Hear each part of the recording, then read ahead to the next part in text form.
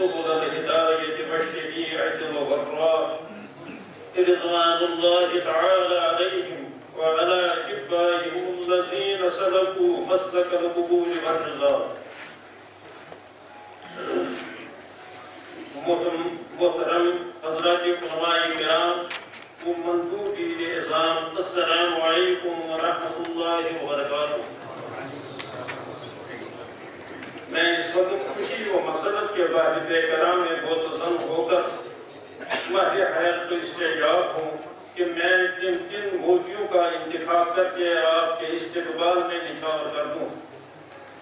کاش میرے لیے ممکن ہوتا تو میں شاہانی ایران کی وہ بہارستان جس کو حضرت عمر رضی اللہ تعالیٰ عنہ نے پارا پارا کر کے تقسیم کر دیا تھا، آپ کی اس مجلس نشینی میں فرش کو کا منہ بنا کر دکھا دیتا۔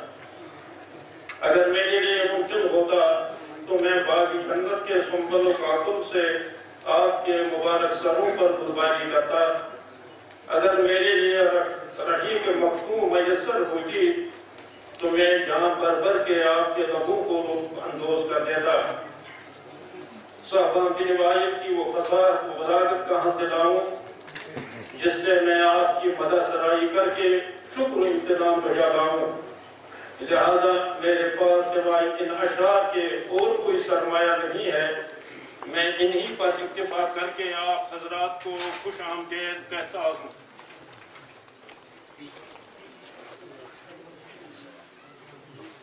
جمعیت علماء سنت والجماعت بے گمان، مسلک حق کی علامت دیو بند کی ترجمہ۔ آج نازاں ہے جہاں میں خطے کشمیر بھی۔ ہم نے آخر توڑ کر لائی فلک سے کہکشان فلک سے کہکشان توڑنے لانے میں کتنے پاپڑ بیرنے بڑے ہمارے مولانا غلام محمد صاحب سے دریافت کر لینا۔ شکر اللہ جھوم کر پڑھنا ہمارا فرض ہے۔ انشاءاللہ یہ جماعت اب ہماری ہے پہچان۔ آپ کی آمد مبارک آر پی اسکول میں بلبلانے گلشن قاسم یہاں پر نظم خان۔ محترم علماء کرام و مندوبی نظام چودھری صدی ہجری میں اللہ تعالیٰ نے علماء دیوبند سے دین کے تحفظ اور احیائی، احیاء و تجدید کا جو کام کیا ہے وہ آپ حضرات پر مکفی نہیں ہے۔ اگر تھوڑی دیر ہم اپنے اکابرین کے کارناموں پر نظر ڈالیں گے، تو سورج کی طرح یہ حقیقت ہم پر واضح ہوگی کہ امت اسلامی کا کوئی شعبہ۔ ایسا نہیں ہے۔ جس میں ہمارے اکابرین نے کارہائی نمایاں انجام دیے ہوں۔ گزشتہ دو صدیوں سے ہمارے ازلی دشمنوں نے اسلام اور مسلمانوں کے لیے جو سیکولر نوعیت کے مسائل پیدا کیے، ان سے نمٹنے کے لیے ہمیں اپنے اکابرین کی سوچ اور فکر و روی اور اظہار عزم و ہمت کے علاوہ اور کوئی راستہ نظر نہیں آتا۔ اسی لیے یہاں کے اکابر علماء نے نہایت غور و خوف اور سوچ بچار کر کے مسائل پر اجتماعی غور فکر کرنے کے لیے جمعیت علماء اہل سنہ والجماعت کو وجود میں لایا۔ جمعیت کا آئین اور اس کی اب تک کی کارروائی اور اس طرح اس کے اگلے منصوبوں کو اگر میں اس اس حدیث کا اجمالی منشور کرا دے دوں تو بے جان نہ ہوگا۔ عن ابراہیم عبد الرحمن الرسلی قال قال رسول اللہ صلی اللہ علیہ وسلم يحمل هذا العلم من كل خلف قبوله ينفون عنه تحريف الغالين وانتحال المبتلين وتعويل الجاهلين رواه البيهقي لہذا ہم اپنے مقتدر اسلاف کے باوفا اخلاق کہلانے کے تب بھی مستحق ہو سکتے ہیں جب ہم دین میں تحریف اور باطل پرست ناظر کے توڑ مروڑ کی ہوئی باتوں اور جاہل عوام کی جہالت پرستی کا کیوں مقام کریں۔ عظیم المحتبت مہمان علی کرام، آپ جیسے بیدار مت حساس دل کے مالک، ایمانی فراست کے حامل علم دانی سے معلومات اور اسلام و مسلمانوں کے بارے میں فکر مند حضرات کے سامنے اپنی گرد و پیش کے مسائل کا تذکرہ کرنا تحصیل حاصل ہے۔ ہم میں سے شاذ الناظری کوئی ایسا ہوگا جو دین سے متساق مسائل کے بارے میں معلومات حاصل کر کے اپنے ماحول اور بساط کے مطابق کوشش و فکر مندی نہ کرتا ہو۔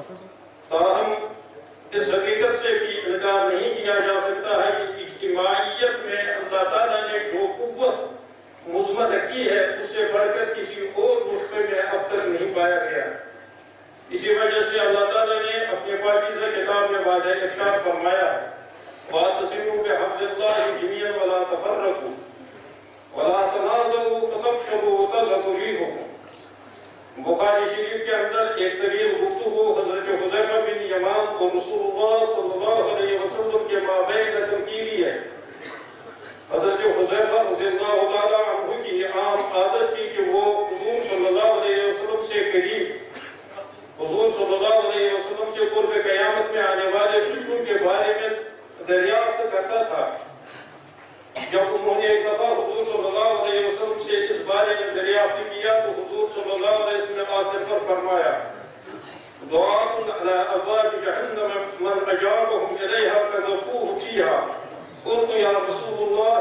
ainda, né?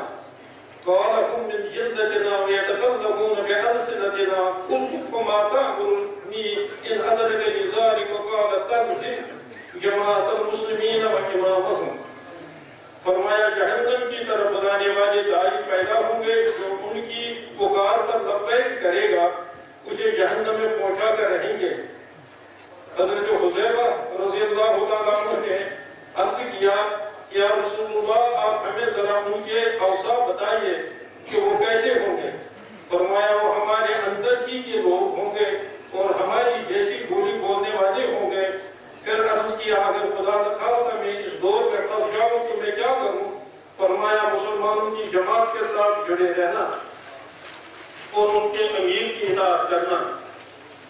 محترم دائیان اسلام، اس سے آپ نے اندازہ کر دیا ہوگا کہ موجودہ دور میں جس صورتحال سے ہم دوچار ہیں، وہ حدیث میں بیان شدہ صورتحال سے کئی درجے آگے ہے۔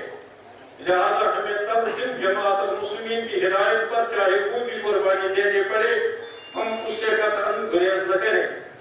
مسلم شریف کی روایت میں یہ الفاظ بھی آئے ہیں، وہ جن ظلمہ زہروں کا وہ اقضا کا لہذا جب ہمیں اس بات کا یقین ہے کہ مسلکی دیوبند سے وابستہ حضرات ہی دور حاضر میں حق پرستوں کی جماعت ہے اور اس کے اکابر امیر کے قائم مقام ہے اور قرآن کی اصطلاح میں ان کا اختیار کیا ہوا طریقہ حق اللہ اور قربت الوسطی ہے، تو ہمارے لیے لازم ہے کہ ہم ادھر ادھر بھٹکنے کی کوشش نہ کریں۔ ورنہ ہم انسان نما بھیڑیوں کے شکار ہوں گے۔ یہاں کہہ دیجیے پیر نما ٹھگوں کے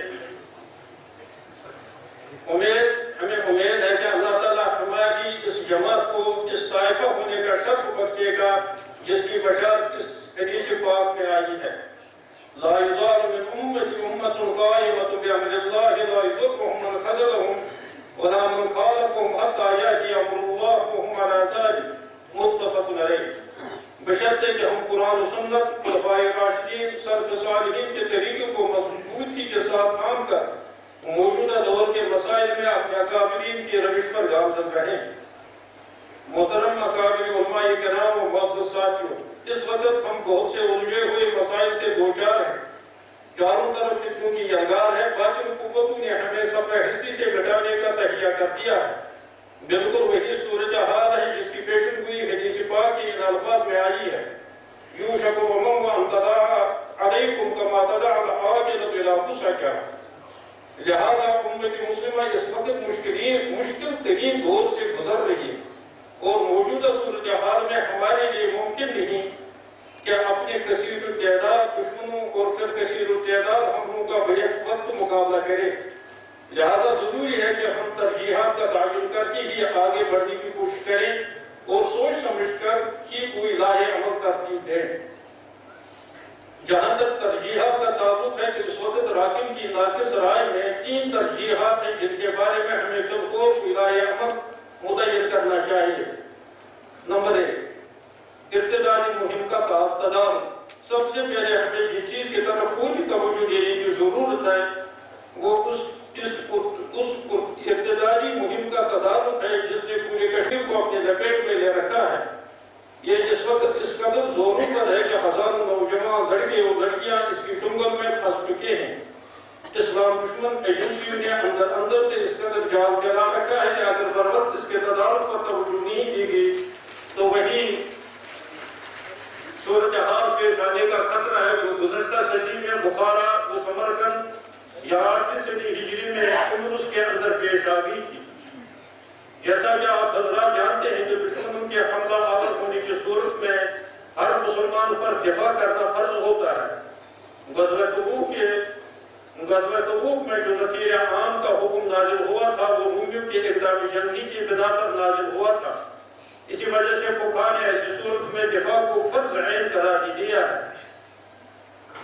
چنانچہ صاحب بدایہ سنایا، کتاب سیئر میں لکھتے ہیں فأما إذا أما النفير بأن حجم العدو على بلد فهو فرض عين يفترض على كل واحد من أحد المسلمين ممن هو قادر عليه لقوله سبحانه وتعالى انفروا خفافا وثقالا قيل نزلت في النفير وقوله سبحانه وتعالى ما كان لأهل المدينة ومن حولهم من الأعراب يتخلفوا عن رسول الله ولا يرغبوا بأنفسهم عن نفسه فإذا أما النفير لا يتحقق القيام به إلا بالقل فبقي فرضا على القل عينا بمنزلة الصوم والصلاة فيخرج العبد بغير إذن مولاه والمرأة بغير إذن زوجها.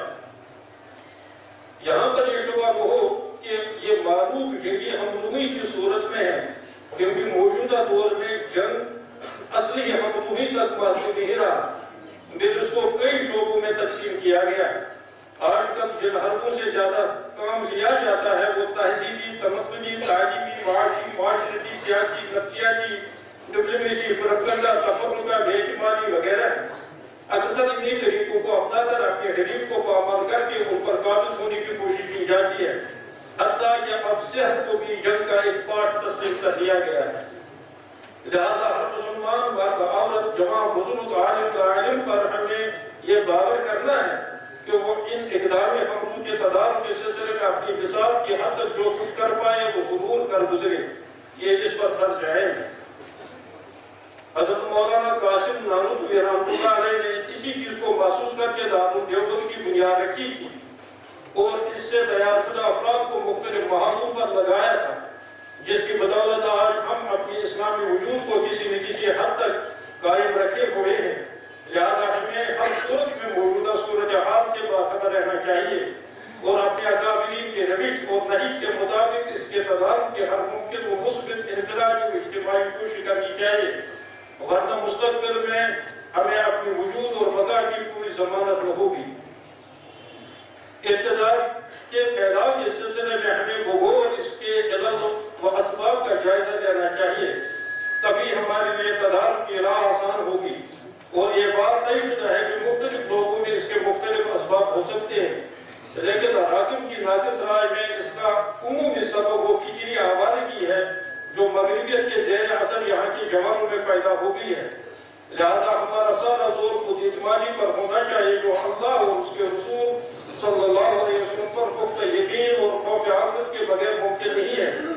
لہذا علماء و خطبہ حضرات کو اپنے اپنے بیانوں میں دین و اسلام کی اس انداز سے تشریح کرنی چاہیے جس سے لوگوں میں خود اعتماد خود اعتمادی کی روح پیدا ہو جائے، جیسا کہ فرمایا گیا۔ ہے ادعو الى سبيل ربك بالحكمة والموعظة الحسنة وجادلهم بالتي هي أحسن۔ حدیث میں ہے، بشروا ولا تنفروا ويسروا ولا تعسروا۔ یہ صلاحیت ہمارے اندر اپنے اکابرین کی سوال حیات اور ان کے ملفوظات اور تصنیفات پڑھنے ہی سے پیدا ہوگی، کیونکہ انہیں اس نو کے مسائل سے کافی واسطہ پڑ چکا ہے اور وہ تجربے کے بہت سے مراحل سے گزر چکے ہیں۔ لیکن اس سلسلے میں ہماری مشکل یہ ہے کہ ہمارے اکابرین کے دور میں جو ابتدائی مہم چلائی جا رہی تھی، وہ خود عام باضابطہ چیلنج کے ساتھ چلائی جا رہی تھی۔ جبکہ یہ اس وقت سازشی اور جاسوسی انداز میں چلائی جا رہی ہے۔ اسی وجہ سے چند سالوں سے بعض لوگ نام کو نے کا دوبارہ اوڑھ کا درپردہ ان کے ابتدائی مشن کو ہی آگے بڑھانے کی کوشش کر رہے ہیں۔ اور وہ بھی اس خوشحالی سے کہ ان کی کوئی پکڑ نظر پائے۔ لہٰذا اس وقت کے علماء بالخصوص جموں کشمیر کے علماء کو نہایت حساس، فعال و تصویر مطالعہ و نور فراست سے لبریز بننے کی ضرورت ہے، تب ہی کچھ کام ہو سکے گا۔ نمبر دو اصلاحی معاشرے کی طرف خصوصی توجہ کی ضرورت ہے۔ یہ اگرچہ علیحدہ عنوان اور موضوع ہے، لیکن ایمان کے ساتھ اس کا تعلق ایسا ہی ہے جیسا کہ روح جسم کا ہے۔ جیسا کہ روح جسم کا آپسی تعلق ہے، جس طرح ایمان پختہ ہونے کی وجہ سے اعمال میں صدار آتا ہے، اسی طرح اعمال صالح کی التزام سے ایمان پختہ ہو جاتا ہے۔ ایمان کمزور ہو تو اعمال کمزور ہو جاتے ہیں۔ اسی طرح اعمال بگڑنے کی وجہ سے ایمان غلط ہو جاتا ہے۔ لہذا اعمال صالحہ پر زبردست توجہ دینے کی ضرورت ہے۔ اعمال کا انفرادی ہو یا اجتماعی عسکری عبادات ہو یا عسکری معاملات، بہرحال ایمان کے پنپنے اور بگڑنے میں ان کا ایسا ہی رول ہے جیسا کہ دانے کے زمین سے اگنے اور پھلنے اور پھولنے کے لیے بہت سے لوازمات اپنانے کی ضرورت ہوتی ہے۔ مثل كلمة طيبة كشجرة طيبة أصلها ثابت وفرعها في السماء تؤتي أكلها كل حين بإذن ربها لہذا ہمارے لیے ضروری ہے کہ ہم عبادات کی تبدیل کے ساتھ ساتھ مسلمانوں کے معاملات معیشت معاشرت تہذیب تمدن کی اصلاح کی طرف انہیں بھرپور توجہ دلائیں جیسے ہم ان کو عبادات و عقائد کی طرف دلاتے ہیں۔ ورنہ یہی ہوگا کہ شجر طیبہ کی ایک ایک شاخ سوکھ کر بالآخر اس کی جڑیں ہی سوکھ جائیں گی۔ مغربیت کے فروغ کی بنیادی وجہ یہ ہے کہ انہوں نے مسلمانوں کو عقائد، عبادات عبادات انجام دینے کی کھلی چھوٹ دے دی ہے۔ باقی تمام معاملات پر ان اپنی بالادستی قائم کی ہے۔ چنانچہ آج ہم زندگی کے تمام شعبوں میں انہی کے دست نگر ہیں۔ جس سے ہمارے عقائد اور عبادات کمزور ہوتے گئے اور اسلام دشمنوں کے لیے اقتدار کے لیے راہ ہموار ہو گئی الحمدللہ، اس سلسلے میں ہمارے اکابرین کا قابل قدر مواد موجود ہے لہذا، اس سے بھرپور استفادہ کر کے لوگوں میں اسلائی معاشرے کی منصوبہ بندی کرنی چاہیے۔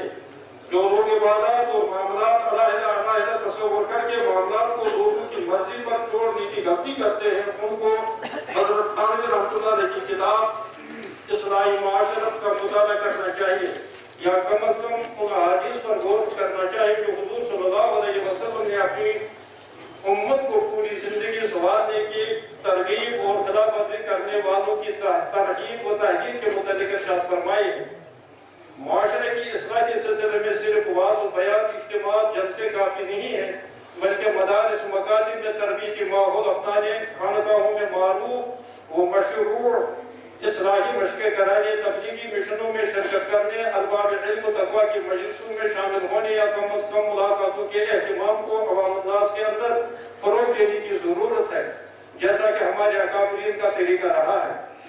محترم حضرات جیسا کہ آپ بخوبی جانتے ہیں کہ موجودہ معاشرے کے بگاڑ کی بنیادی تین اسباب ہیں۔ مغربی طریقہ تعلیم کا پھیلاؤ آزادی نسوان کی تحریکیں حلال و حرام کی تمیز کیے بغیر دولت کی فراوانی، لہذا جمعیت کی ذمہ داری ہے کہ وہ ان اسباب کا مؤثر علمی طور کرنے کی ہر سطح پر کوشش کرے۔ اس سلسلے میں موجودہ اکابرین کا اصلی تقاضوں کے موافق مدلل و مؤثر مؤثر لٹریچر الحمدللہ دستیاب ہے۔ لہذا ہم اس سے بھرپور استفادہ کر کے اہم رول ادا کر سکتے ہیں۔ بشرطے کہ ہمارے دلوں میں روز بروز بگڑتے ہوئے معاشرے کا احساس پیدا ہو جائے۔ ورنہ افسوس سے یہی کہنا پڑے گا۔ وائلہ کا نیمتا یہ کارواں جاتا رہا۔ کارواں کے دل سے احساس زیاں جاتا رہا۔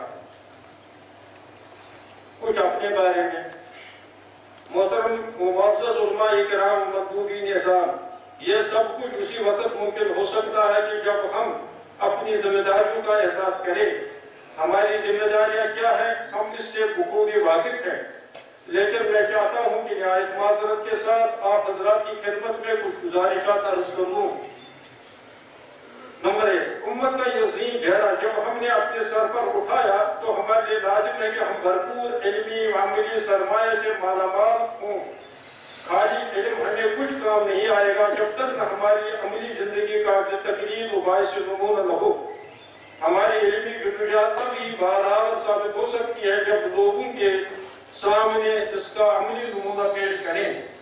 اسلامی تاریخ میں دعوت و اصلاح کی جتنی مؤثر تحریکیں اٹھی ہے ان کی کامیابی کا راز صرف اسی میں مضمر تھا کہ وہ علم واقع کے ساتھ ساتھ عمل صالح کے پیکر تھے۔ اور یہی انبیاء علیہ السلام کی سنت رہی ہے۔ اسی پر کامیابی کا وعدہ ہے۔ وَلَقَدْ كَتَبْنَا فِي الزُّبُورِ أَنَّ الْأَرْضَ يَرِثُهَا عِبَادِيَ الصَّالِحُونَ۔ وَأَنْتُمْ لَعْلَمُ إِن كُنتُم مُّؤْمِنِينَ۔ لہذا جمعیت سے وابستہ حضرات کو ہر بار اس بات پر غور کرنا چاہیے کہ میرے قول فعل سے جمعیت کو کتنا فائدہ ہوتا ہے اور کتنا نقصان اٹھانا پڑتا ہے۔ نمبر دو، موجودہ سیاست سے اجتناب۔ جمعیت کا منصور جو آپ نے مطالعہ کیا ہوگا، اس میں اس نقطے کو بنیادی اہمیت دی گئی ہے کہ جمعیت کا کوئی اپنا سیاسی ایجنڈا نہیں ہے، نہیں ہوگا۔ یہ ہمارے اکابرین کا اصل موقف رہا ہے۔ ہمارے اکابرین اصلاحی سیاست کے قائل تو ضرور رہے ہیں۔ البتہ عملی سیاست سے انہوں نے ہمیشہ اجتناب کیا ہے۔ لہذا مسجدی جمعیت کے رکن یا عہدیدار یا عام پر ہونے کے ناطے بھی ہمیں عملی سیاست سے اجتناب کرنا پڑے گا۔ کیونکہ جمعیت کا اصل مقصود دعوت و اصلاح ہے، جس کی ذمہ داری ہم پر شریعت متحدہ کی طرف سے عائد ہوتی ہے۔ ہم کسی انقلاب یا تبدیلی کے مکلف نہیں ہے وہ من جانب اللہ مشروط یا موجود ہے؟ جمعیت کے اصول و ضوابط، نمبر تین، جمعیت کے اصول و ضوابط سے عدمی انحراف۔ جیسا کہ آپ آئین پڑھ کر سمجھ گئے ہوں گے کہ جمعیت کا نظام شورائی ہے، صدارتی نہیں ہے۔ لہذا شورا کے اندر جو بھی طریقہ کار وضع ہوگا، اس کی پابندی ہر ایک پر لازم ہوگی۔ حدیث میں جو ہدایت حضور صلی اللہ علیہ وسلم سے حضرت حضیفہ بن یمان کو دے دی تنظیم جماعت المسلمین و امامہم، اور اسی طرح من شخص شخص فی النار کا یہی مفہوم ہے۔ اور ہمارے منشور کا تقاضا بھی ہے، اور کامیابی کا راز بھی انشاءاللہ اسی میں مزبر ہے۔ محترم، وہی کانی امت، میں نے نہایت اقتصار اور اشارات و کنایات سے کام لے کر جو گزارشات آپ حضرات کے سامنے عرض کی۔ مجھے پوری امید ہے کہ آپ اس کے بین السطور کو معشر و حواشی بخوبی سمجھے ہوں گے۔ لہٰذا میں گفتگو ختم کر کے اپنی اور جمعیت کے جملہ راکی یا اساسی و دیگر منتظمین کی طرف سے آپ حضرات کے تشریف آوری کا شکریہ بجا داتا ہوں کہ آپ نے اس اجلاس کی اہمیت و ضرورت اور افادیت کو محسوس کر کے اپنی قیمتی اوقات صرف فرمائے۔ بالخصوص وہ حضرات، سب سے زیادہ شکریہ کے مستق ہیں جو دور دراز علاقوں سے سفر کی صحبتوں کو برداشت کر کے سری نگر میں کل سے ہی منتصر ہیں۔ میں ان حضرات کا بھی شکر بجا لانا اپنا اخلاقی فریضہ سمجھتا ہوں، جنہوں نے تقریباً ایک ہفتے سے دن و رات محنت کر کے اس اجلاس کو کامیاب بنانے میں ہماری مدد فرمائی۔ شکر اللہ سعیکم و جزاکم اللہ عنا خیر جزا آخر پر یہ دو شعر۔ بہر کے میں تمام گفتن تمنا یہ جہانے را۔ گشو کے خود حضوری طور دادم داستانے را۔ ہزاروں آرزو دل میں ولیکن خود کی بند ہے۔ قلم نے ساتھ چھوڑا ہے، سنو میری خدا حافظ، السلام علیکم۔